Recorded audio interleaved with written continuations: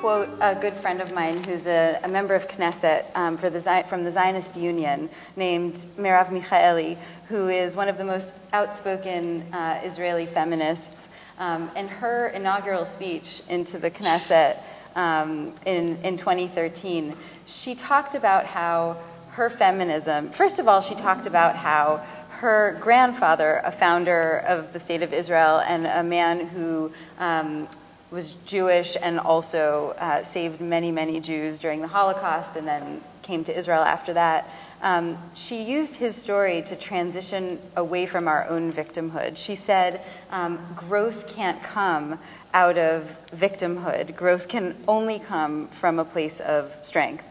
And she talked about the strength that it would take for us in Israel um, to not think of ourselves as victims, but to look around us and say, I'm only safe if I'm not being targeted, but also if nobody's being targeted. And that really stuck with me because also as grandchild of Holocaust survivors, and uh, my dad was born in the ghetto, um, that, that transition is something that I think is happening in our generation. And so, you know, I agree with you that there's some sort of victimhood discourse in the intersectionality. Um, I wouldn't even call intersectionality a movement. I would call it a sort of analysis. And I think there is some sort of comparison of trauma, some comparison of, of victimhood. That's the part that I really hate about it. The part that I um, relate to about it is this feeling that our, our liberation is tied up with one another. That if I'm standing up for my rights as a woman, I'm standing up for the rights of all women everywhere. For me, that includes Palestinian women.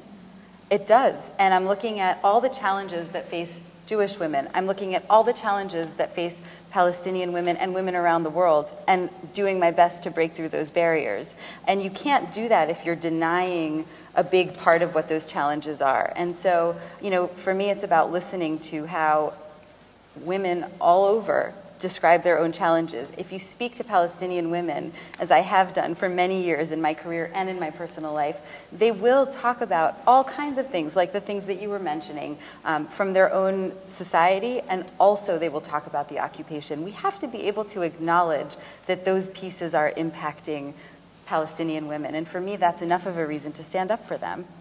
I don't think there's anything about actually, certainly in, in the modern mainstream circle, of the way, and I should say the, the modern conceptions of feminism, so that's maybe not a mainstream circle, that denies Palestinian statehood as part of its Zionism. I run almost entirely in left leaning circles. I'm in New York City and work in media, and I'm under 30. That's all I'm around all the time it is never an issue of denying Palestinian statehood.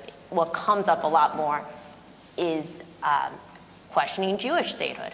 And look, uh, to your point about Linda Sarsour being criticized, I don't know if someone was invited to come up and say, like, I'm a Zionist and an American and a feminist. I would have loved to have seen that voice, and I would have been very curious to see what the response would have been online or what have you.